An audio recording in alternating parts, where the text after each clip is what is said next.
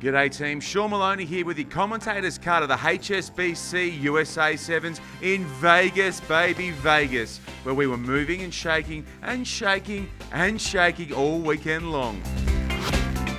Branco du Preez went off in his 50th tournament. Here he is going up 400 weight divisions on Adam Zaruba. Bang!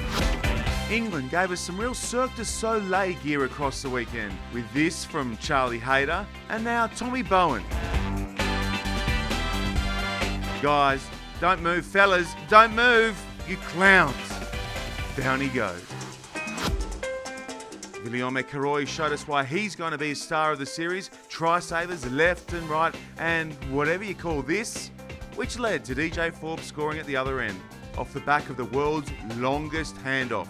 Going, going, going, still going, try.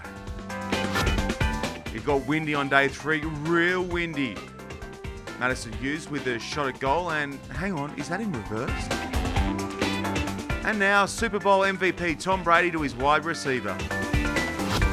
Chile were too hot to handle in parts. Yeah, that's right, Chile.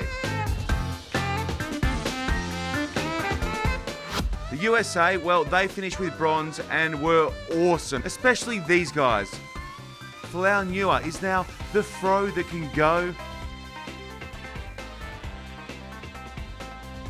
and this weapon, the boom boom man, Mr. Danny Barrett.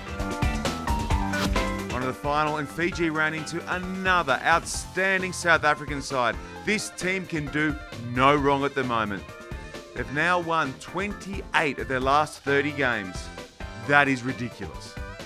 Alrighty, that's a wrap. We'll see you again in Vancouver for your next commentator's cut.